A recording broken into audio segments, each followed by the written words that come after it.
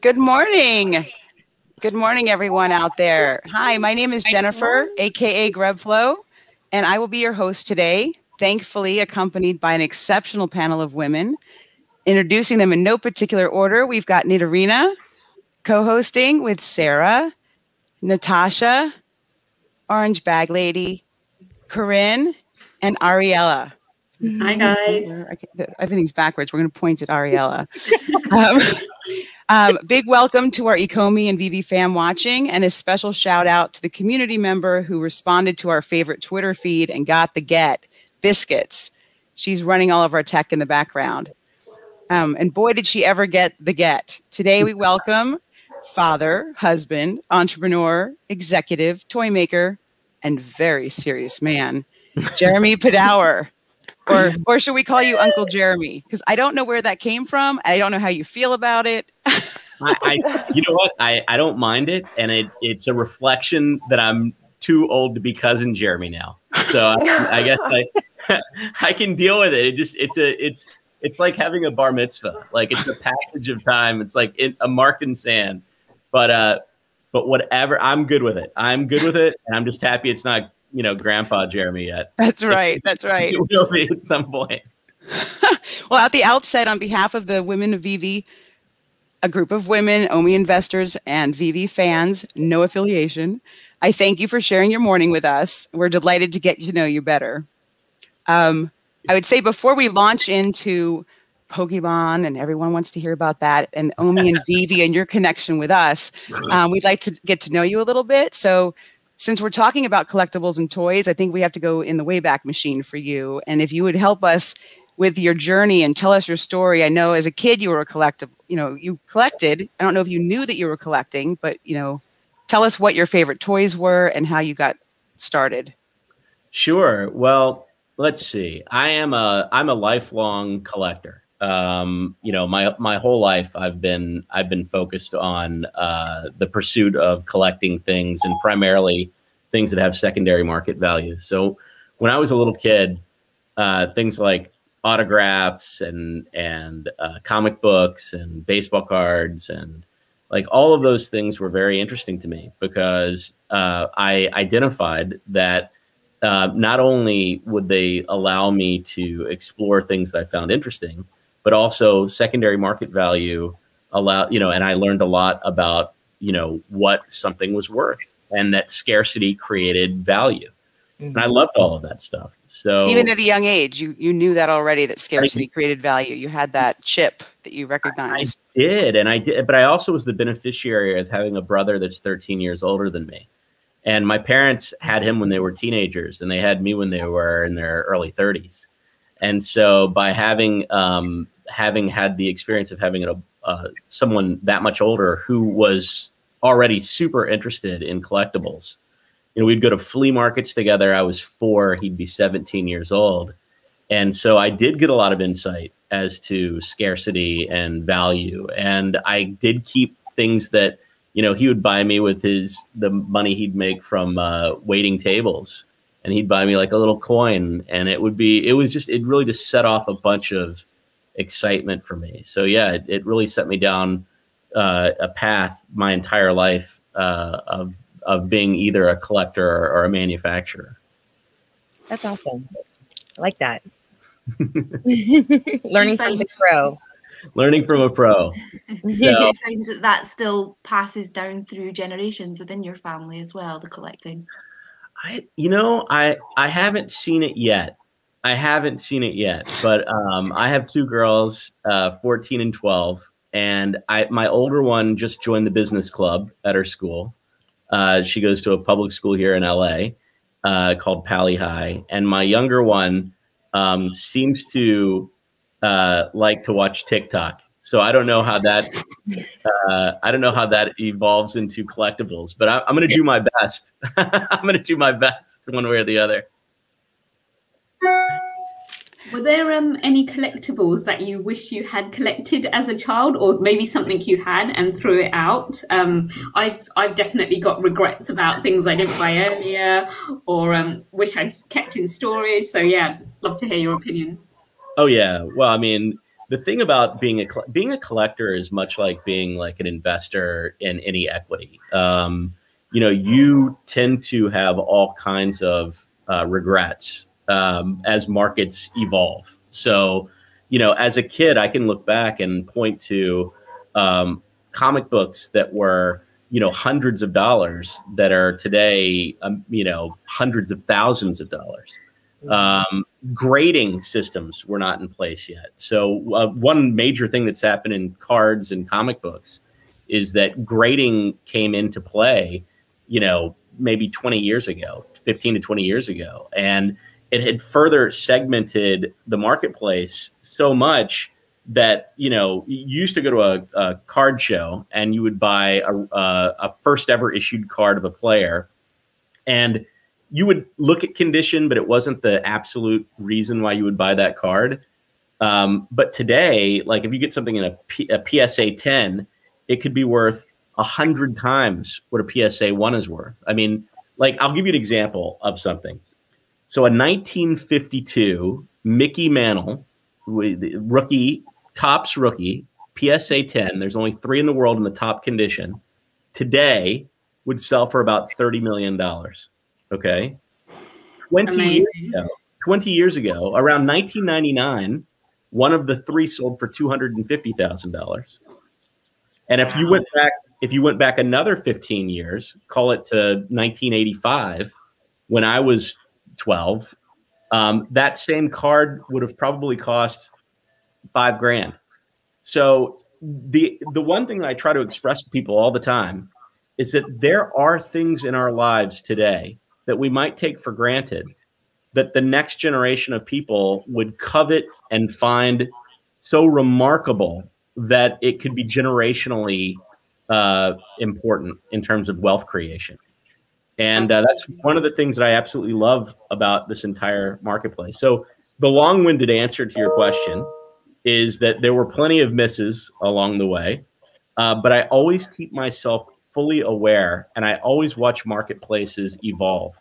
And I think that we're seeing a lot of that evolution right now with things like Omi, where uh, and VeVe, where we see um, the early stages of a entire collectible system where there's built-in authenticity uh, because you know if it's on their system, it's real. There's no questioning whether it's real or fake. Like all the things that you see in the general open universe of NFTs and collectibles in general, like they have a great handle on. So it'll be very interesting to see how all of that res- uh, evolves. Do you think as well that sort of evolution brings um, buyers and sellers together a little bit easier, or I'm not quite sure what it's been like in the past um, for buying and selling collectibles. But do you think it would be easier for somebody to find a collectible or or uh, contact somebody that that has a collectible that they're after? Absolutely, you know, it's an excellent question. You know, one one thing that I would say about the the universe of collectibles is that at the end of the day, it generally evolves in around a community. Um, back in the day, it was interesting because you know um, if you wanted to collect cards or something, you'd have to go to a card show, like a local card show, but you'd be around a bunch of people that have a similar interest. And while the transactions were not as easy to gauge in terms of value, meaning that you if you went to one card show and then you went down the street to another, you might have different valuation systems in each. You know, one card that was $38 here might be $32 there because it was so fragmented. But the community was was clear. So what I would say the difference today is that the valuation is immediately accessible. You always know what the floor is. You can check it out. You can look at 600 items that are like it and understand what the floor is and what the transactions are occurring um, and the other thing is the community is engaging in real time. So the real time nature of the community and the real time nature of the grading systems and the transactional value where you can see like clear indicators of what something is worth. When you combine those things together, it really is very potent in terms of developing longevity within a collector system. Like the card market ultimately fell apart at one point in the 1990s. Of course, it came back massively today, but it fell apart because there was very few controls. Uh, there was very little grading, very little understanding. You couldn't watch a secondary market like eBay and sort by price and see what the heck is going on. You couldn't go into a marketplace like Omi has and see what was happening. And so, for all of those reasons, what I would say is, yeah, absolutely. Like today, we have a scenario with something like oh, with something like VeVe. Uh, forgive me, I keep saying Omi because I I probably check the price twice a, a week. Um, but the marketplace like VeVe, uh, where you have the immediacy and the understanding of both the community and the transactional value. So I really do feel like a system like that um, has all the makings for longevity and and success from a collectible perspective do you can i ask a question do you find also because with something like with VeVe you know you can look at what you've collected you can put them in photographs and and play with them of sorts right but yes. in real life if you've collected something it loses value the more you look at it right so yes. kids that have played with their pokemon cards well they've lost value because they're not sitting in plastic so I, I wonder you know if collecting now because you're doing it through these collectibles and NFTs if they'll be more valuable to us because we're not going to ruin them by interacting with them. Yeah, so there's there's pros and cons, okay? I'll give you both. And by the way, if you hear barking in the background, my dogs want to really eat the gardener. And and I don't know what to say about it because they know the gardener. We've had very direct interaction with the gardener but they still think the gardener's like a tuna fish sandwich. And so I don't know what to do about that. But we're just going to let them bark themselves to death. All right. To answer your question, um, which, if you don't mind, if you could just one more time ask me that question. Well, just do you find that collecting now is going to be almost better for a collector because you can't you're not going to devalue your NFT or your oh, like right. your VeVe collectible right. by Correct. interacting with it because you can interact with them, especially with yeah. VeVe, right, with the AR and everything. Yeah. So the double-edged sword. Okay. So back in the day, back in the back in the 80s and 90s, and uh, you didn't have you didn't have um, manufactured collectability. Everything was organic, meaning that if um, there were really very few limited edition type offerings there was really like you know people would release sets of product and they would try to gauge consumer demand and they didn't really care too much whether they missed it or hit it. And it was all about that year and could they maximize sales? And and that and those days affected collecting massively. And then over the course of time and i've i was a very uh, uh, important part of this especially on the toy and collectible side is we realized that we could manufacture collectability, meaning we could manufacture items that that were well below the demand curve and hmm. would have longevity from a valuation standpoint. Yes, sometimes it's frustrating because you don't get necessarily get your hands on the super secret rare, but it's great for longevity. So I think collectors today, so two things. Number one, having the opportunity to engage with your collectible is a very good thing. There's no question about it. It gives you utility where you wouldn't otherwise necessarily have utility. Looking at a digital image and saying, I've got this digital image, awesome, is not nearly as cool as saying, I have this digital image which also acts as an avatar in a gaming simulation.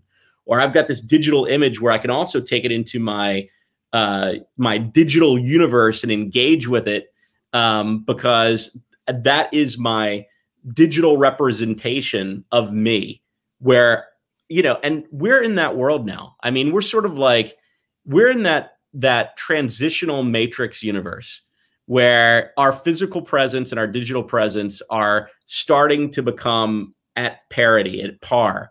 And it's and for some of us uh, that's already occurred. And for others you know they don't even want to get on facebook yet. Um, but but so the bottom line is the other interesting component of that is when you have manufactured collectability, um, you don't have to worry as much about grading systems.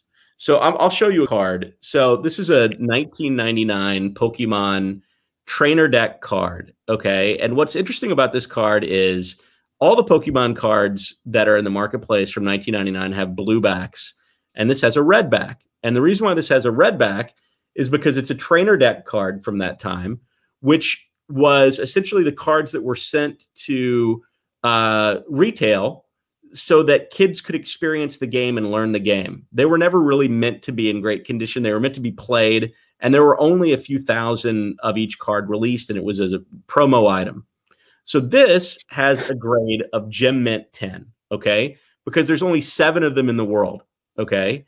This is an organic collectible, okay? What I mean by mm-hmm. that is there was never meant to be seven of tens or anything like that. It just so happens to be that all the other ones got beat up and played hard.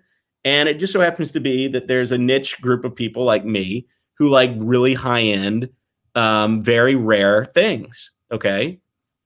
With that said, within the world of uh, VeVe, you see them creating um, what's the best way to put it? In the in economics, there's something called the the highest valued consumer principle. Okay, where it's like an upside down triangle, where the triangle represents the entire marketplace demand, but the very tip of the triangle represents what the what the highest valued consumers are willing to pay for something. And when you can take a system and create 60,000 comic books and in a democratic way throw those all out at the same price mm-hmm. And 500 of them are to satisfy this crew here but it's given to this crew. It's i think it's a beautiful thing. I think it's a beautiful way to manage things. It, it, it the the playing field is even. I don't have any better shot than anybody else. But at the end of the day they're creating trust they're creating rarity and scarcity and they're playing to the people who are willing to pay that kind of premium while giving that premium almost like Robin Hood to the mm-hmm. Who don't necessarily otherwise fish in those waters. So for me, like being a feeling loving capitalist, being both, uh, it's really satisfying to see them create a collectible system like that. So, anyways, I've answered sort of a lot of questions with that one, but and and and there's I, actually, I would even like to say something else if you don't mind. That's a little off the page. But back to this card, because I think a lot of people don't really understand digital collectibles yet. And you can talk about utility and you can talk about all those things.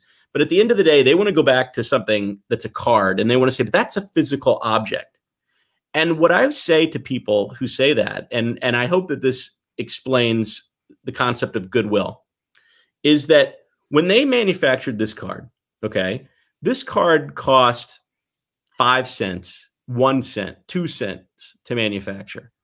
The utility of this card is is is quite low. It's you can play a game with it, but you, it's not going to change your brakes. It's not going to fix your life. It's just a it's a piece of uh, of cardboard. Okay, at the end of the day. But interestingly enough, in this card, within this card, what you have is a tremendous amount of emotional attachment to a brand and a tremendous amount of goodwill as a result. So the actual physical cost and value of this card may be two or three pennies, but the secondary market value of this card could be ten thousand dollars. You know, this one is probably around ten thousand dollars. So the goodwill is nine thousand nine hundred and ninety nine dollars and ninety eight cents the physical value is two cents. In this hand, I have a VeVe digital collectible or an NFT. The only difference between these two things from a physical valuation standpoint is two cents. And that's what people need to understand about NFTs or VeVe or digital assets versus physical assets is that no matter how, no matter what you might think about having the physical presence of any of the things that you see behind me, um, the material value of any of these things is not very high. And so everything in, is about goodwill when it comes to the collectible space, as derived through traditional economic principles, supply and demand, and our love and trust for the platforms that we're dealing with. So thank you for allowing me to answer oh, that one. And yes, and look at that perfect timing. Mandy just posted the emotional connection with our digital collectibles with VeVe is real. Um, and I think that, you know, we were talking like beyond having capital and talent and all of those things, VeVe is selling emotions and it's capturing a feel it feels like we're capturing lightning in a bottle. We all have memories of certain drops, that time we got the low mint, that time we got an ultra rare, where we were. Um, we do it with our family. It, it, we huddle around the modem. My 15 year old walks through the house to show us where the Wi Fi is best for a drop. Um, and then as a community, it is, um, you know, we all want we all want to get a piece of the pie and there's plenty for everybody, but we genuinely are excited when our community members get something great with the drops. And you know especially with these comics it really you know to add to what you said it it broadens the space um, the opportunity for people who don't have a lot of money to get in. And it's like the corporations are i don't know if they're doing it intentionally but finally sharing a little bit. And it's a this symbiotic relationship where they can have one of the differences I think is, is this um, you know residual in perpetuity. You can give a license where in the real in real collectible space you pay the licensing fee, you pay you make you make the first purchase, and then the secondary market they're they're cut out and they don't get that. And so I think that what's really exciting here as well is we're opening the space to artists, cutting out the middlemen, to not just the big corporations, um, with all due respect, we're not worried about Marvel making money. They're they're a powerhouse, but it's it's absolutely the right decision to give them those residuals and to welcome other people into the space. And you know, and another thing, because we're talking about the digital collectible space, and your world is very physical. This isn't about replacing. I don't see it replacing. I see it as an right. enhancement. And um, like shout out to Biscuits. We were talking about this the other day. She is one of the people in the community who has obtained NFTs and then searched them out or came across them in the real world. And now they're collecting the physical collectibles to take photos with their NFTs and to have both of those in the space. So, so, cool. so, I'm kind of throwing a lot of things out there, but for me, I think that the digital and the physical world is going, they're going to help each other and there's going to be this symbiosis um, moving forward. Um, and then talking about the cards and the value, who knows what's going to happen right now right? We're, we're pre-crypto in VeVe we're, we're waiting to open the doors to i you know to immutable. It's going to be the wild wild west after that. But to see something where the good old days for us in VeVe was three weeks ago. Three weeks ago i could get a marvel one for two dollars. I could not, I didn't understand why people were selling them for 50 cents, 70 cents, a dollar. And then you look at what the floor is now and you look at the secret rare. Um, you know, I've had a busy week. I haven't looked at the app, and then I open the app, and what? Um, yeah. So you know, there was an it, it is, you know, so you know the ROI for people who are getting in for six ninety nine, and I'm I'm like town crier. I'm going all over town because the digital collectible itself is not a hard sell, but the digital comic is such an easy sell. Yeah. Because when you tell someone you can download this free app, throw throw 15 bucks in gems on it. So even if you can get two comics, yeah, it's 6.99 and they kind of look at me glazed over. And I usually open the app and I go a little unfair. I do go to the Marvel 1 Secret Rare and I say, "Well, maybe this will get your attention." And so I am like I'm a grandmom. I'm having all these kids and and other people, you know, generation of out there of VeVe downloaders, you know. So and I and I come back to the community like, look what I just got, and went to the eye doctor last week. She's gonna watch this and laugh. I went to the eye doctor and she's hooked, and she got a secret rare yesterday. And how oh. exciting is that? And her first collectible was the um, Frankenfat, which has the wonky eyes. So immediately she went to the office after pulling over on the side of the road on her way to the office to get it. she, she put it in her in her examination chair with the eye you know, and it it was so much fun. So we're having fun, and the emotion is there, the attachment is there, um, and yeah, I, I do think that the folks coming into the VeVe side are trickling over to the physical collectible world too, which is pretty exciting. And Definitely, the community right? side, right? Collectors within this universe, uh, it's such a good community. When someone does get a secret rare, when they post it, everyone is so supportive and happy for them. It's not, oh, I didn't get one. It's like, yes, good for you. And it's just, it's it's exciting to see other people succeed. Well, listen, they had a choice. They had a choice to make, and the choice was to either uh, give away the value to the consumers uh, or the community, I should say, or to maximize the value and identify those who are willing to pay the most on the primary market. And I think when you're in a system where there where there is a secondary market where you can continue to chase valuation over time and you continue to get a royalty payback, that it incentivizes the large companies and the large corporations to act in a more democratic way about the way things are distributed. And so that's again, that's one of the things I love about capitalism is that it's not necessarily a bad thing if the systems and the structures are there to support it in a way that allows for fairness on the first go around. And that's one of the things that is so awesome about about cards as well is that you sell packs of cards you don't know what's in it. It's a it's a lottery ticket every time. And that's one of the things that makes it so great. And i think that's the reason why everyone feels involved in a very meaningful way. The aspirational purchase is always there and it's always lofty. Like am i really going to go spend 30 million dollars on a 1952 mickey mantle psa 10 no no and exactly. even if i had it um, that would be risking my life in at home in many ways right uh, some explaining to do. Yeah, some serious explaining uh, to the divorce lawyer. That would be a lot of explaining. Um, but but the the the bigger picture here is that if there were a hundred million packs of cards and one of them contained this thirty million dollar card, and everyone had an equal shot at it, that's kind of the world that that on a magnet on a magnitudes larger scale, that's kind of what we're dealing with right now. Mm-hmm. Everyone and anyone can pull that secret rare. And they had a choice to make and they made a really, really great decision. And one thing I always tell people, um, whether they're creating a collectible system, whatever it is they're creating. So, you know, whether we're making Pokemon or whether we're making wrestling figures or whether we're making Halo or Roblox or whatever it may be, is that if you have something that's special, most of the time, put it in the mass produced item, even if it's a limited edition. So every 20 master cartons, replace one of the common items and put in this special item. Give it to the consumer. Because when you do that, when you give it to the when you give it to the consumer, you have a much better chance at creating a community of people who feel good about what you're doing. And so mm. they they made a really really good choice. Really really good choice. Hopefully that that's the choice that continues. I think I think go ahead, Danson.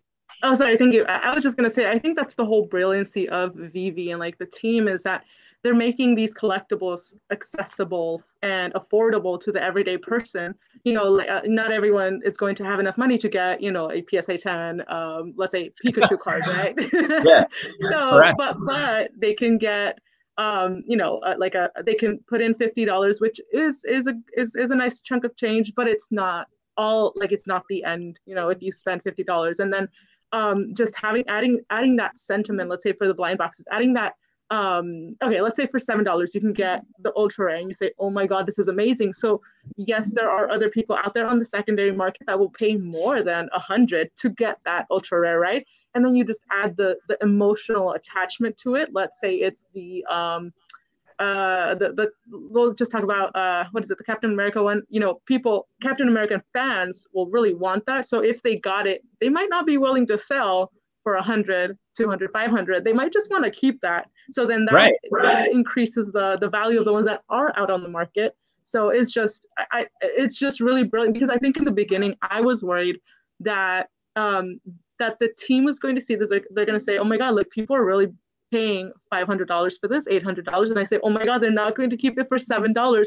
But then if you look at the bigger picture, that's not what they want. They're not all about profits. You know, they're not about a thousand time profits. They, they want to bring it to the everyday people. You know, they want, um, uh, um, what is it mass adoption and and i think that's just the most brilliant way to go about it because you're making it affordable you're giving you know like you said uh, more power to the to the collectors and there's just there's just no there's just no stopping it definitely if i could just add on to the to the back of, of what both of you guys have said about jeremy the and the way that your company has kind of uh, approached the idea of collecting and you've kind of democratized it you've sort of made it like like Danson saying, much more um, affordable and much more approachable. I think that there's like this air of of collecting.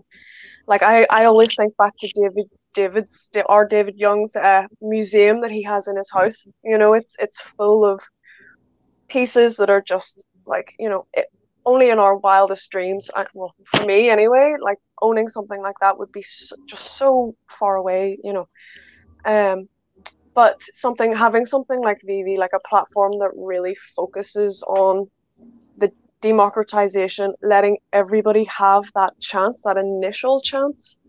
Um, and with that, like I, I have never collected comic books in my life, and I think with that, taking away that barrier, you've opened up this whole just and like for even like I talk about artists all all the flipping time, but like there's a lot of us that have never like I'd never been exposed to a lot of the artists that we now have on VeVe and as well as the, the comic book artists and uh, all of the sculptors and, and everything. So not only has it allowed us to kind of get our own collections going but it's expanded our you know perception of collecting and just in general just to see the the products and the and the creations that are out there um yeah, VeVe's done a really, really freaking good job of bringing that down to like sort of more ground level, I think. Totally. Yeah. And expanding and expanding the potential marketplace of included people. Mm-hmm. Essentially, like I, I love what you just said because I, I mean, I can certainly relate to the concept of not necessarily being able to participate at the absolute highest levels of a collection. Well, mm. you know, I, I, grew up in Mississippi and Tennessee and places like that, um, and and it was a it, an experience where it's not like my neighbors were also participating in that. They weren't. I mean, mm-hmm. but but to know that you can have a chance, to know that you're part of a community where everybody comes in and has the same shot at things. I think that's a very powerful, powerful it's statement. Huge. It's huge. It's huge. And guess what? They'll uh, again, the capitalistic part of it takes care of itself because the company and the licensors will benefit from the secondary market sales. So it's and by the way, and everyone's happy to see it too. You know, when Harley Quinn sells for a lot of money, uh, because it's a very sought after particular uh, particular collectible on VeVe. Um, people who have never gotten a secret rare yet don't go like, "Ugh, I hate it when that happens." They go, "That's so cool." Because that's all part of the built-in system and the beautiful economics of it that that benefit, you know, everyone. But because and the include by the way, the art component that you mentioned, like the idea that okay, now you understand a certain art style so now you start to investigate more that particular art style and the other artists that may play in that style.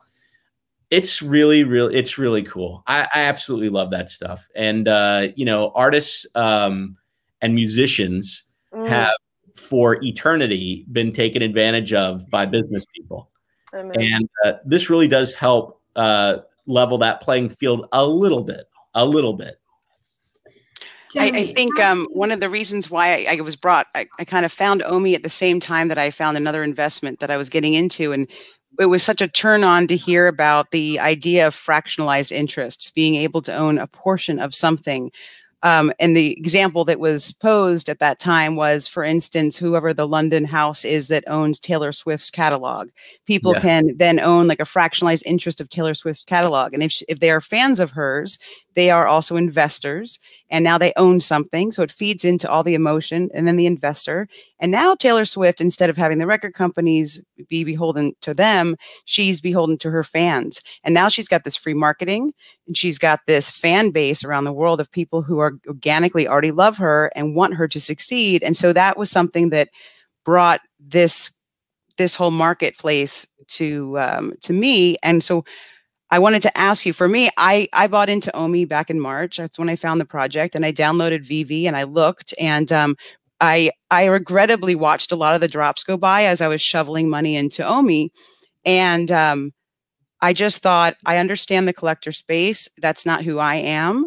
And then some lovely, wonderful community member dumped an NFT into my account for free as a gift over the summer, and it was it. I was in my office. I got an Ecto one, and I put it there. I have interns working for me, and I had them run over. To, let's take a picture with this car. It was it. I was sold and um, I haven't, you know, I, I the kids laugh like we're going to eat top ramen this week because we need money for the drops and um, maybe not literally but that's what we talk about and um, you have said quite publicly several times that when the team came to you a couple years ago with this pitch you weren't completely sold on it and um, it seems like you've changed your mind and i would like to know what what was more um, appealing to you and how much our community has has made a difference because i do know that you're an advisor on another nft project. I'm also full disclosure i'm an investor there too but i feel like the community is non-existent there. I don't have any um, so while i have that bag sitting there and i almost want to just move it over to omi because this is where i spend my time and my energy uh, i just would like to know what changed your mind what factors came into play and in kind of what capacity are you hanging with VeVe and omi team? Yeah so okay so i'll deconstruct that. Um so i met um uh i met david and dan a few years ago maybe maybe a couple two and a half years ago three years ago with al Kahn and al and i have been friends for a long time. Um um, Al and I have had very similar careers. Um, he he did it earlier than me, but you know that's sort of the handoff, the natural handoff of everything in life. There's always going to be someone who does it before you. There's always going to be someone who does it after you, and uh, you know hopefully it's a it's a broad group of people that you can uh, that you can hand off to and from. Um, in the in in the situation with Al, he was always like a, um, a, you know an aspirational person from from where I stood because um, that guy just never he never stops. I mean, he he has a tremendous eye, a tremendous vision. Um, but uh, no matter how good, your eye is, no matter how good your vision is, um, when you are in the business that that I'm in, when you're in the business that he is in, you tend to fail a lot. And depending on the timing of your failures, um, you can feel like quite a failure. Um, so if the first 15 things that you try fail, um, you might see yourself in one way. But if the first thing you try succeeds, the next 14 things fail, you might see yourself as a success. You know, the irony of success and failure has everything to do with timing. So I guess in in the eyes of the world, Al's a great success and I'm a great success. Um, but it in when you're living in my head, what you recognize is it was a lot of trial and error. And there was a lot of times where the the error almost you know knocked you completely out of the game. And that it, in the end timing was a major player but also hard work was everything along the entire way. So i preface the answer by saying that. Mm-hmm. because when al came to me with this i thought it was nuts. I i was i i sat there and he came in with and by the way, please note that, you know, if I see a hundred things professionally, there may be two of them that I think are viable. If I see a hundred things personally, there may be three or four that I think are viable to take a shot at. Um, this did not fall into that category at all. Um, there, you know, the crypto space evolved a lot over a few years. Um, and talking about the concept of utility around a digital asset attached to the blockchain um, was an extension of something that I didn't have a tremendous amount of trust or knowledge of anyway. Um, the fact that all of these big licensors were supposedly joining in was another big barrier to entry. Like, okay, well, it's one thing to say that Marvel is, is interested. It's another thing to say that Marvel's in. Um, and there was nothing to compare this to. Mm-hmm. So, you know, one thing that I do when I'm evaluating opportunities is that it's almost like watching a movie. You know, you can be like, well, this reminds me of the Hunger Games, and that's why it's good. You know, and uh, in in the toy business, it's all about play patterns. It's all about themes you could say, wow, I can see how this would be viable for a three to six year old because it's nurturing play or it's the play pattern is uh, conflict in nature and that appeals to a bunch of kids. Um, or the themes are dinosaurs or princesses and that appeals to a bunch of kids. And there are things that you do, there's logical steps that you take as you're weeding out and evaluating things. So, VeVe didn't really fit into a structure that I fully understood, nor did it into something that I thought was going to be necessarily entirely viable to put together. But because it was Al, and because uh, I, you know, Dan and and and and David made a big impression on me as you know people who clearly were trying things, um, whatever the result was going to be. I, I really personally value people that are trying stuff, you know. So I stayed aware, and I, you know, Al and I talk all the time, and and and you know, I would ask him questions and I would hear that things are progressing. And so there's a tipping point in everything. I imagine that there's relationships that you've had in the past where there's a tipping point where the other person didn't really seem all that interesting and all of a sudden they're extremely interesting. Um, or, you know, whatever it may be, business and life have a lot of similarities, right? There are business opportunities that don't seem at all interesting. And all of a sudden it's like, oh man, because certain indicators are there. So that's what happened with me and uh, and and VeVe. There was a lot of credible people. Um, I saw them getting traction. Um, I started understanding the value of blockchain, uh, and then and then slowly but surely, I was like, you know what, I I got to get in on this. You know, like like I got to get in on this. So I did. I got in really early on uh, on Omi, and um, I just really feel like you know this is not investment advice that i'm providing by any stretch of the imagination nor is it directional. I'm not saying go out and take any unusual risks but as part of any portfolio diversification is important whether you're talking about collectibles whether you're talking about traditional investments whether you're talking about how much time you're spending with any individual friend you know diversification is a good thing you know if you've got 20 friends that you consider to be good friends. If one decides that you're no longer interesting, it's good to have 19 friends. You know, if you've got 20 investments uh, and one sucks, it's good that you got the other 19. And and so this one to me seemed like a really good idea to be part of a diversified portfolio of investments. And I just think that there's a lot of reasons why it has potentially significantly huge upside. Um, you know, they were early to market, they were early to these relationships, they're executing exceptionally well.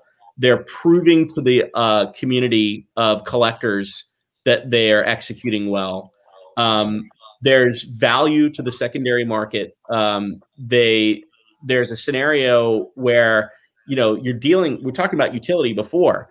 Um, there's limited utility to this, but when you have a digital asset, you can really take that digital asset into all kinds of different worlds that maybe we haven't fathomed yet. They've started showing their hand there a little bit in terms of what those worlds might look like. That's really interesting. Um, the tokenomics of OMI are interesting to me.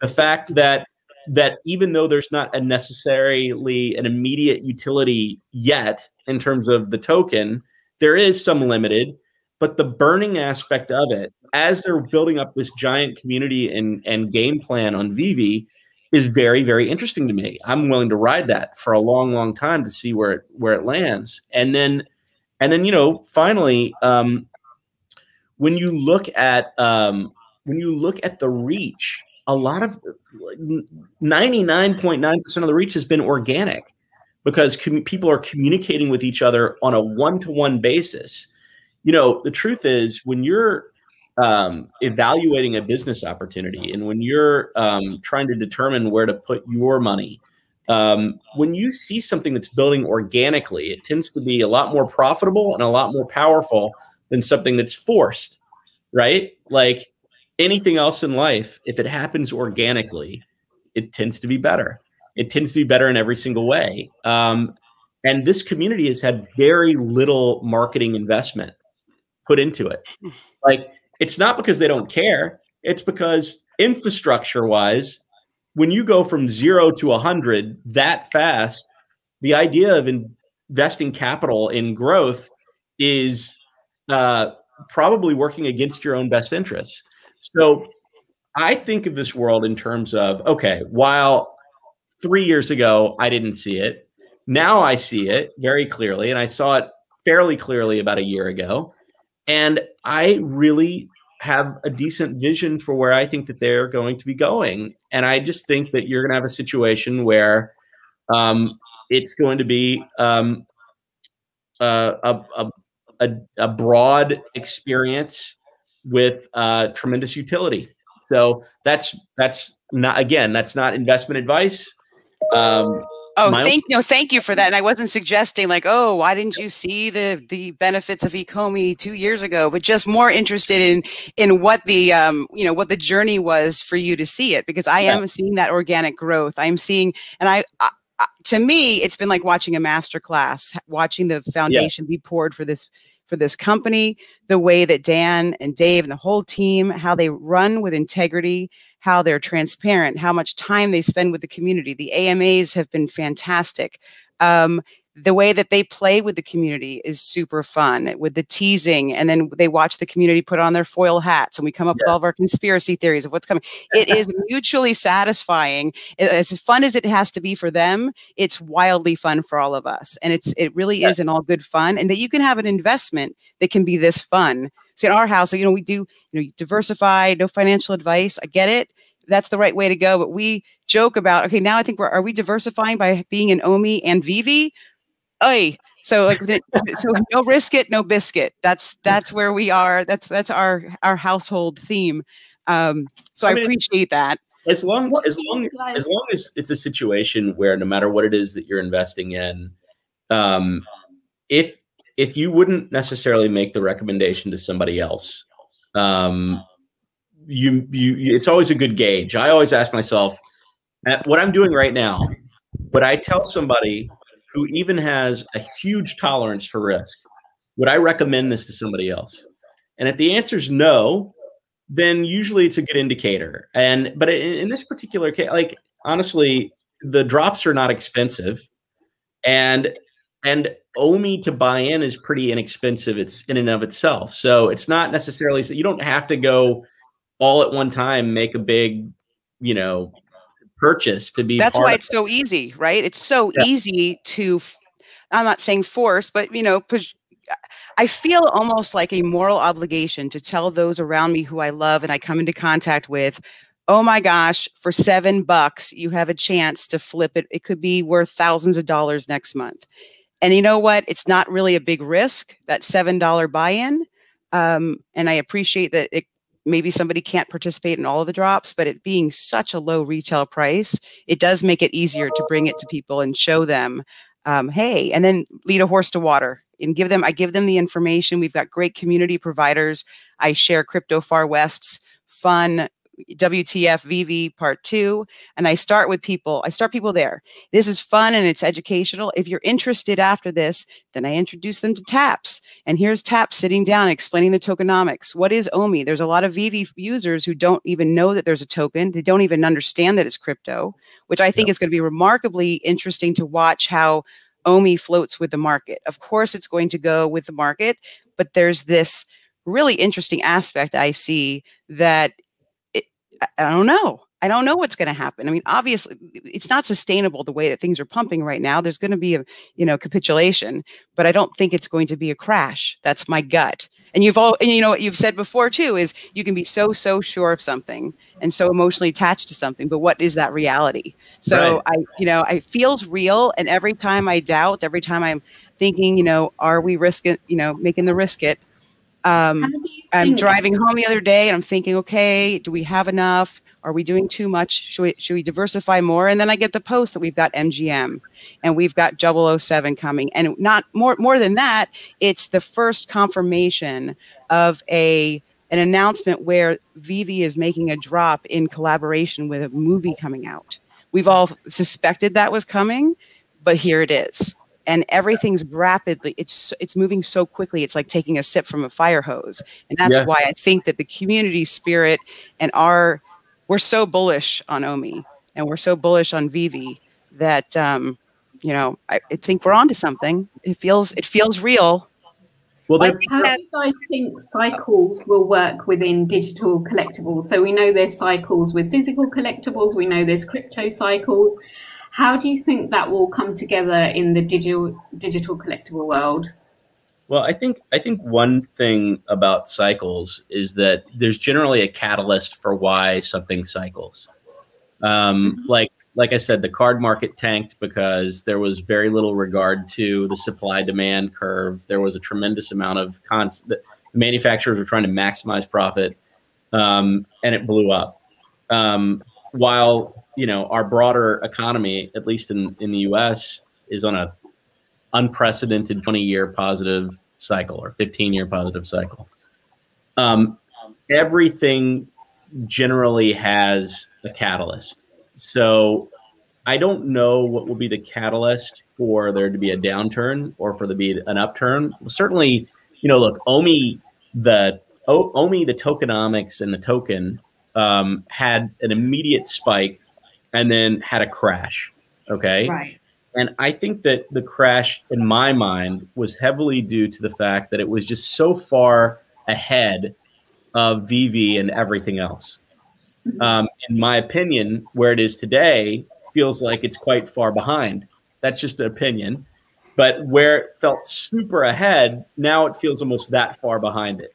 And you see the tokenomics, the amount of burning. Um, so I just, I don't know what the catalyst will be. Um, but humans are fallible and we do things wrong occasionally. But I do think that the team at VeVe has shown a real high regard for the community, for listening to the community, and for and for and for reacting and for also being proactive about new opportunities. In, in fact, I personally believe that some of the biggest things that will happen in um, the world of VeVe and for the ultimately the OMI token are things that are technologies that are that are early stage today, and the application of existing digital assets to those technologies. So obviously, I know that we're all talking about the concept of uh, digital property versus physical property and the and and showing things off. But what are the extensions of that? You know, I would love to be able to see what the future technologies bring, but it's clear to me that they'll be digital. And while it's difficult to scale things around this, it's not as difficult to scale things around a digital experience. So um, the cycles will occur, um, and the reaction and the strength of the underlying collectible platform will greatly mute what those cycles downsides look like. I, I, will say one more thing, and that is being a closed universe right now has been of great benefit to VeVe. And I know there's a lot of interest in, well, let's, you know, like open up that forbidden door and let's have stuff tradable on OpenSea and everything else. And there's excitement around that. Obviously, though, there's positives. But certainly, one of the things that, that we all have right now is certainty we know that these collectibles are real. They're minted within the a closed universe. Um, it's part of a community that's identifiable and uh, growing very rapidly. And honestly, the oh, the broader NFT space has a lot of challenges with counterfeiting, and mm-hmm. you know, there's a lot of there's a lot of shelling that happens out there. There's a lot of things that you look at and go like, mm, I don't know. So this, you know, the way things are right now in terms of that are are you know are quite good. Um, but I'm sure that they'll be taking uh, uh, certain precautions to make sure that their that their viability remains uh, within their platform. Definitely, and just, just to add something. Sorry, Arielle, go ahead, bud. No, no, go ahead. Oh, sorry. Just to add to the to the OpenSea um, uh, debate and the idea of of VeVe and OpenSea kind of becoming uh, interoperable between each other. I think there's going to be a level of that with Immutable and then being on the same uh, marketplace. Uh, I don't know the details, but check it out. But um, I, I, was watching a, a, a document or a, like a documentary. I think it was Gary Vee, and he was saying he said something that really stuck out to me. And this is not a confirmation on Disney or anything. Just just to put that out there before I say what I'm going to say. but but he um, Gary just described um, like things like IPs uh, and Walt Disney and Walt Disney like made that sketch of, of this character and then built this world around it.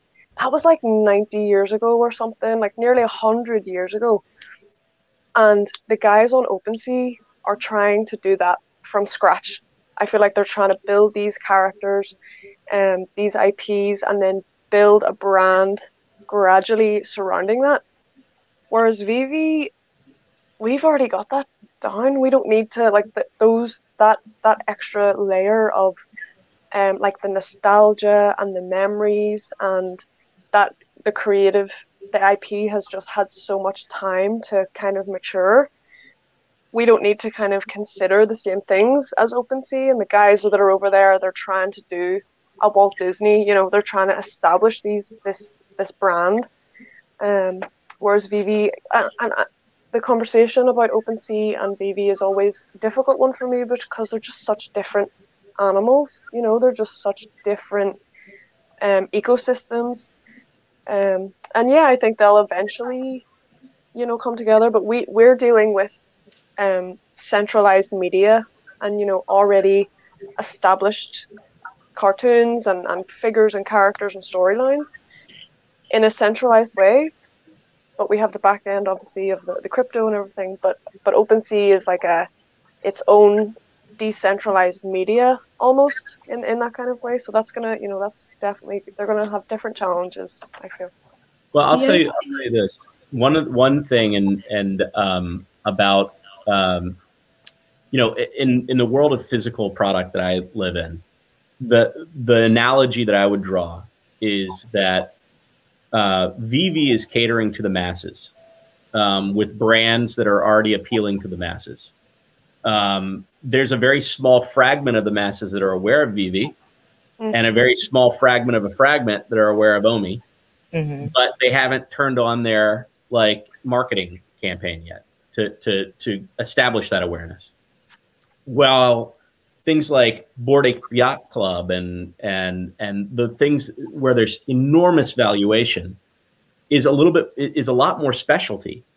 Uh, if you think about it, um, and by the way, that's not a bad thing by any stretch of the imagination. Um, Louis Vuitton is a specialty brand. You don't find it at Target. Um, does it mean it's good or bad? No, there's no value judgment. It just is what it is, and I think that it's a it's two different strategies.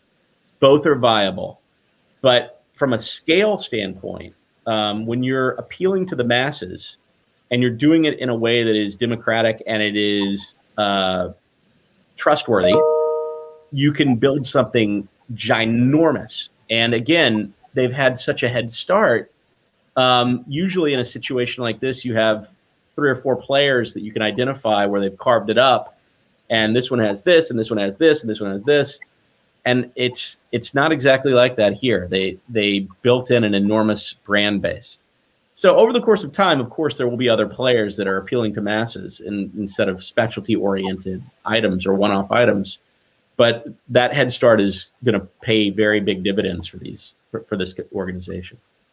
So if I would just want to chime in because I have some notes here, so we yes. before too off track, I'm like I need to get caught up. Uh, one of the things that I love about just VeVe and the whole NFT space in general is the audience that has been captured you know, like I myself, I'm in my mid 30s. And so for me, you know, I'm not into playing with the little figurines and collectible items like my seven year old is, you know. And so when I was introduced to VeVe, um, I found VeVe on my actual birthday, which was in March. Um, that's my VeVe birthday too, is my physical birthday. Um, you know, it captured me because now I'm able to interact, you know, be involved with the community, you know, and now I'm saying, hey kids, you know, I'll be at a birthday party. Who's your favorite superhero? You like Batman? You like Spider Man? You like what? Here, let's go over here. Let's get a picture together. And, you know, I'm printing them up for all the kids and they're absolutely loving it. But for a way that we can just, you know, things have changed, you know, in the world. And, you know, I know, you know, it's it's not as safe as it used to be, you know, when I was five and six years old, where I could just go out and ride my bike and and play different games and maybe Pokemon or marbles or some of these other things that you could do where now it's allowing children to engage with um, other children again. You know, it may not be out on the streets riding bikes, it might be virtually or whatnot, but using your imagination and then, like I said, catering to a much broader um, an audience. And then, um, so one of the questions that I had for you, Uncle Jeremy. yeah. with the whole, you know, we have our hard copy collectibles versus NFTs. So I know in some of your previous videos, you've talked about like the grading scales and some grading scales matter to you, but some don't.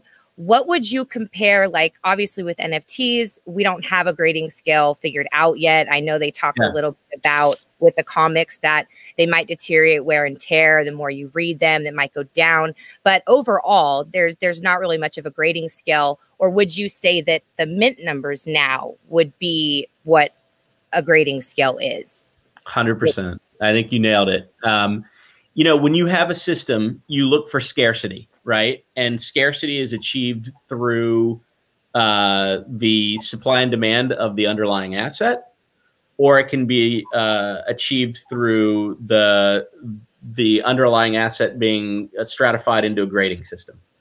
Um, when you have a scenario like um, like they have, they know that grading isn't and and artificially like creating like a grading thing where hey, I got a, a nine. Oh, I got a ten. Like I don't know. That just seems a little disingenuous. I'm not I'm not sure that I would be like super psyched about that.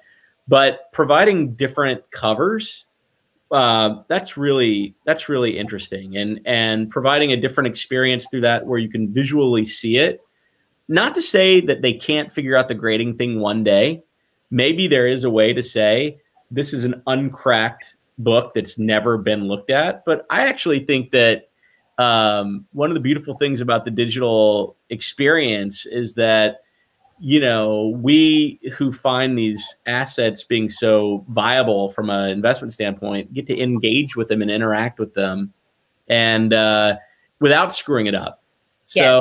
Doing it with scarcity i think um, is a is a great way of doing it okay, because I know a lot of people were saying, you know, with the comics, you know, a couple of them had 60,000 mints and they're saying, oh my gosh, all these mints. But if you think about it, I mean, what would you say as for like the Pokemon cards? Like, what is an average, um, you know, a box or like a set, you know, because you, you figure, you know, hard copy wise, somebody physically has to go to that store. You have to buy it in person, whereas virtually anybody in the world has access to these collectibles. So, would you say that 60,000 editions, even though that's the highest we've had, is still a fairly low and scarce number can, compared to the population in the world? Uh, it all depends. Okay. It depends on what the consumer base is doing because the consumers will tell you everything. So when something sells out in 40 seconds and you have 60,000 units of it, um, it's not about the units as much as it's about a function of units over time. Okay. So, or is it time over units? I don't know. I'd have to think about that for a second. But whatever the function is, there's a math function that would be very clearly identifiable in terms of um, the the the potential demand versus the available assets. In this particular case, sixty thousand. When you just hear a word sixty thousand, seems like a lot. But if if there's a demand for six hundred thousand, then you're satisfying ten percent of the demand. And when you're satisfying 10% of the demand, by the way, I made up that's an arbitrary number, the 600. but, it, but if you're fulfilling 10% of the demand, um, then you probably are creating something that has a secondary market value that's significantly higher than the underlying first offering, um, okay. regardless of which one it is. All right. So, last two questions. So, would you say a first appearance common? Yeah. or an ultra rare, secret rare, non first appearance would have the most like, oof I think oh, I yeah. comment. Yeah. yeah, I, I no, I see where you're going with that. Um, I think that in a situation like this, that scarcity is is often going to be the great indicator of valuation. Um, the demand for a first edition common of a critical asset like you know, uh, Spider-Man's first appearance or whatever it may be, will will have significantly higher demand than a regular common book within a non-critical superheroes, you know, universe. But if if that has a hundred issues and this has sixty thousand, and it's both within the Marvel universe, um, I would personally go after the hundred issues if if they were both the same value. Um, if one was 48,000 units and one was 60,000 units, and the 48,000 units was celebrating a secondary character and not their first appearance, I'd go after the 60,000 unit first appearance. Um, in this particular world that we're in, you can immediately understand the way the secondary market reacts to something and you can track it over time. So all of those questions are answered in a really uh, potent way. Um, in in and I will say like you know back back in my day back back in the in the olden days um, there was a lot of discovery that went along with that. Like you really had to take a lot of time and effort to determine these answers and today they're almost immediate. Again whether you're dealing with ebay or whether you're dealing with OpenSea or whether you're dealing with a marketplace on VeVe um, or whether you're looking at WorthPoint um, which is a subscription service for collectibles or whatever it may be that you're looking at, those indicators are immediately there.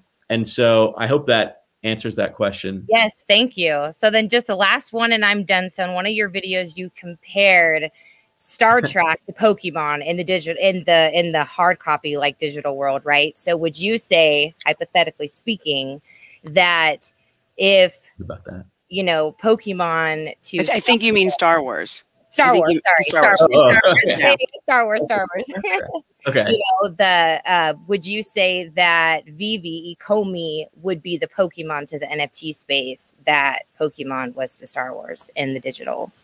I mean, I think I think Ecomi is a platform, um, and so as a platform, the the the platform is only as good as it is trustworthy, and it's only as good as it is uh, their strategy to bringing product to the marketplace. So, um, platforms tend to be bigger than brands um, if you do it right. Like Amazon is a platform for selling product.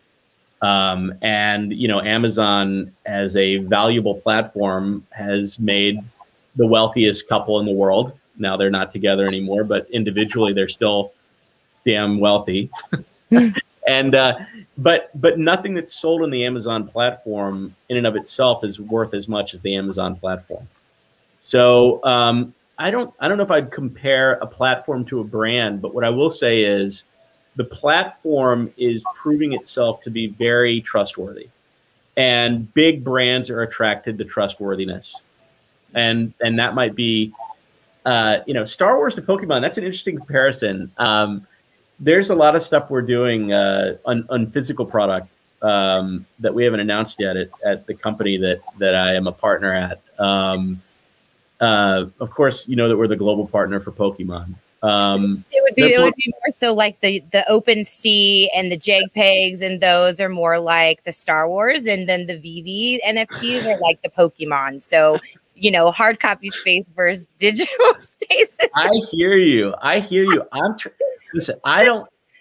The thing is, I would need more of a dissertation to understand that. Like, I hear what you're saying, and I think that there's a lot of interesting concepts on that, and I'm trying to figure out, you know, so oh, like it, like two platforms that have similarities would be like uh, the environment at VeVe versus the environment at OpenSea. Okay. But the similarities sort of end because OpenSea is a decentralized environment where anybody can print anything and trust becomes extremely concerning. Uh, and it's the reason why they're doing authentication now there and saying, like, this is one that you can guarantee is what it is. Whereas VeVe today is a closed universe of trusted brands and brands that they're bringing onto their platform. So I just think that it's it's two groups taking two different approaches to the way they're distributing content, and the content being brands or opportunities uh, of of brands. Awesome. Thank you. Um, before we wrap up, we're going to do a quiz, but I, I can't help myself. I have a couple things that came up while you guys were discussing. And um, briefly, Corinne, thank you for bringing up taking pictures at parties with the kids. Um, I think that as women, we have a different perspective and we're coming across unintended positive consequences of VeVe and the app. I know in my household with teenage boys, you can't just ask a kid what's going on in school. Is there drama? Do you like a girl? Do you like a boy? What's going on? What's going on with you? They don't really respond to rapid fire questions. Um, we, when we're doing an activity, whether it's puzzling or we're at the beach or we're hiking, eh, you just have the organic conversations come. And VeVe has been tremendous in that regard. Um, there's another uh, relatively famous member of our community, Claire, and she works with children in a in, in family law court, which is hard enough. And to gain their trust, she has learned to use the VeVe app so that she's no longer the monster that that sometimes kids are, you know, reduce social workers to, given the unfortunate circumstances in their household. She's been using VeVe to connect with children in that capacity. We've talked about wouldn't it be cool if children's hospitals maybe had um, a few iPads that they could, you know, let the children who are stuck there with cancer treatment use those iPads and invite their VeVe friends into their room and and plop them in AR and take pictures pictures of them. Oh, There's all these different unintended consequences that moms and and women, because we're not all mothers, um, have that perspective. So I just wanted to add that from Corinne, and then back to the um, the grading. There's talk in the community that after you read one of these comic books, for instance, there's a little green check mark. And does that reduce the value of your comic because now you've read it? So that's number one. And then also in the collectible space, I'm wondering if um, if you think that provenance is going to come into play. So the secondary market's great, but if you can prove on the blockchain that you are the original owner of it on a drop, will that maybe come into play in valuation in the future? I mean, I think I think provenance is always important, um, but it's less important in a universe that is a closed universe than it is in an open universe. Um, so, in a world like uh, you know when things are unleashed outside of the VeVe platform, um, seeing that provenance and seeing exactly that it came from a trusted source um, is going to be a, a, big difference maker. Um, because once you leave a platform, there's certain trust factors that are left behind. Um, but I don't listen. I I I can't speak out of turn by saying that I know what the answer is going to be.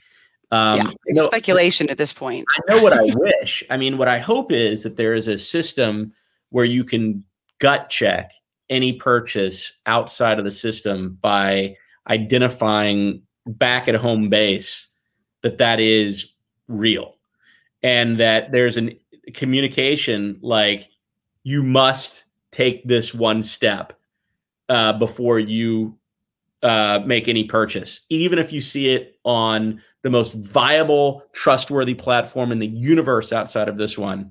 Take that one step and get like a double blind confirmation, some sort of like, yep, it's real. Like I, I mean, but again, I'm I'm not a technology. I'm not necessarily a technology person, but all I know is that trustworthiness has to maintain at a very very high level. Um, and coming back to the home base is a great way of of doing that.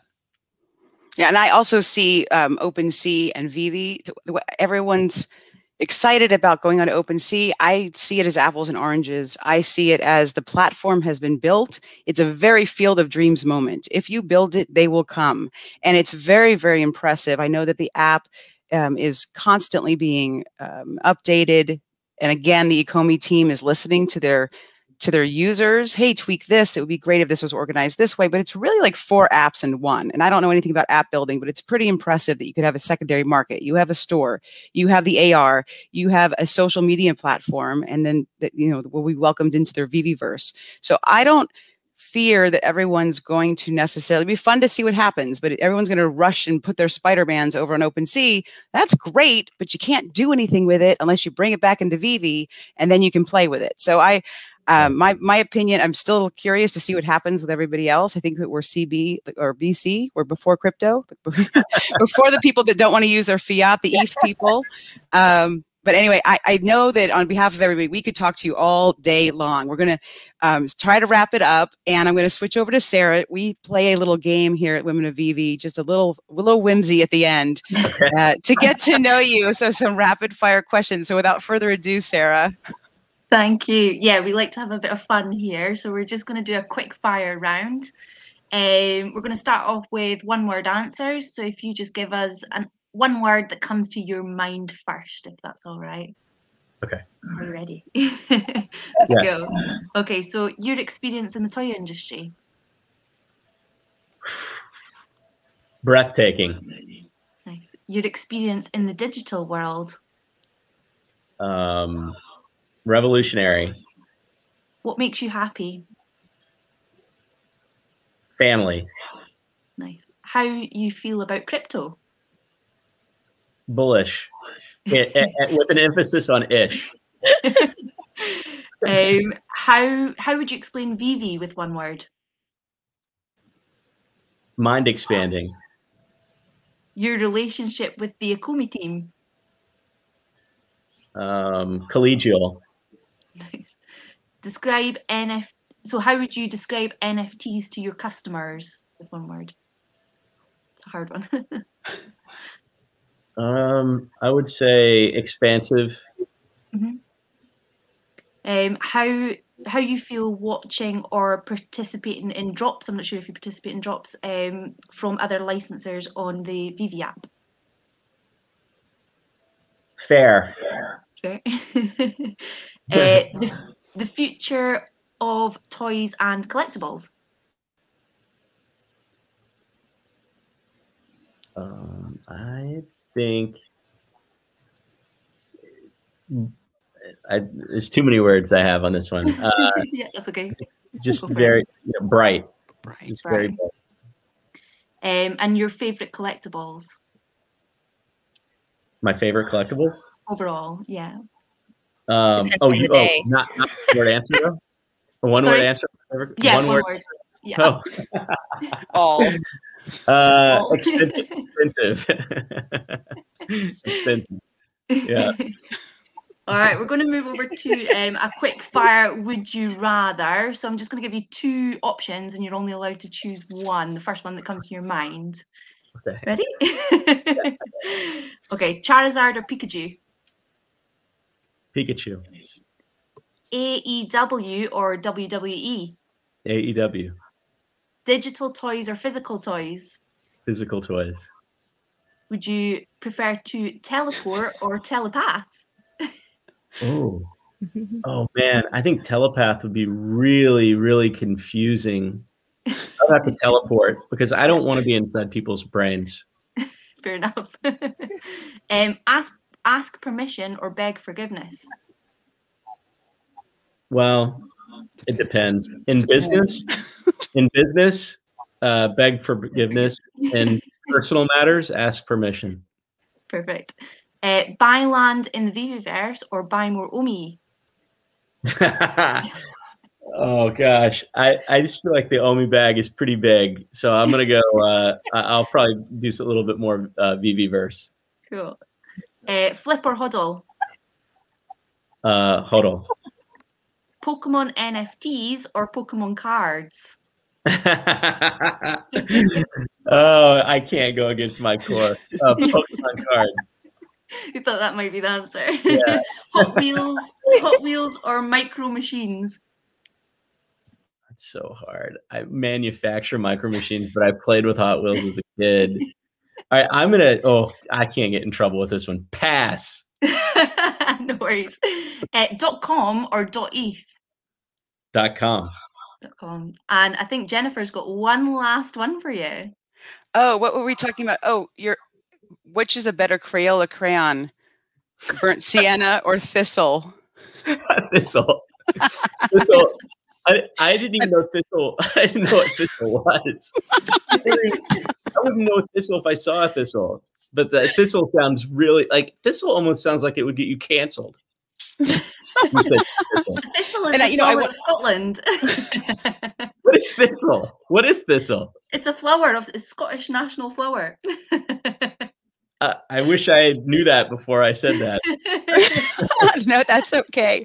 Um, I, well, one thing that I don't know if everyone knows is that congratulations to you for, I guess in May, you are now the Marvel costume partner, Marvel's costume partner with you.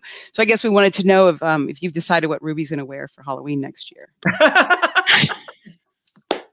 that is so great. Um, so Ruby being uh, my little dog, uh, who's very sweet and uh, was a rescue.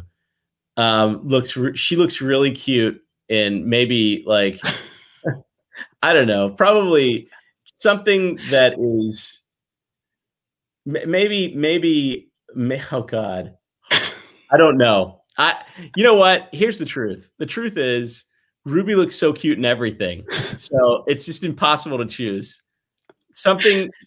That's something fair very shiny and, and, maybe with a cape. Maybe with a cape. With a cape. Yes. Exactly exactly. Yes a cape would be perfect. Wonderful. Thank you so much again for having this time with us today. We've had a great time. Thank you ladies. Wonderful questions. And yeah. i hope that y'all had a fun time out there team mm-hmm. and, and Ecomi family and our VeVe family. Is there anything else you want to brag about, show off, or yeah, tell us? I, no, I just I, so I'll, I'll, say a couple things. First of all, just from an interviewing standpoint, um, this has been maybe one of the most absolutely inter, uh, enjoyable uh, inter- interactions in my in my career. Like, you know, you you y'all spent so much time um, really trying to understand, you know, who I am. Um, and I do deeply appreciate that. It you went so far above and beyond um, I uh, I just you know I just want you to know from that it means a lot to me, and it really you know for me it's also affirming because it means that I you know I tried to be known for something that was positive. So the fact that you you know took the time really means a lot. And the second thing that I would say is that you know when you when you kind of when you co-own a, a big company or something um, you you have a choice to sort of like not be in the public eye or be in the public eye and for me, I just want people to know that like I paid for school. Like I, I grew up in small southern towns. Um, I didn't necessarily have any connections at all. Um, I did have a scenario where my parents, and specifically my mom, was very loving. My dad was very hardworking, and so I saw a lot of that nurturing uh, in different ways. But anybody can be the next person that owns the next big thing. Um, there are few barriers today to in information, fewer barriers to information today than there's than there have been in the past. And it just I I hope that uh, that the next leadership in digital and physical um, assets uh, come from men and women um, who are highly engaged and highly hardworking people. Um, and you y'all just blew me away today. Um, so thank you for that. And then, you know, finally, um, I would just like to say that um, I'm going to continue to be part of the community and a collector, and that I do appreciate, you know, uh, you know, people that that do like reach out and follow, you know, me or or anything that I'm working on or or the company that that I'm part of, um, whether it's professional or personal and uh, and you know, thank you very much. Thank you for that. It's been our pleasure. It's been our pleasure, and thank you. What a wonderful compliment to have. Huge, huge one. You guys are awesome. have a wonderful, wonderful day, and I guess that's the sign off. Thank you so much. Bye. Thank you, everyone. Bye. Bye.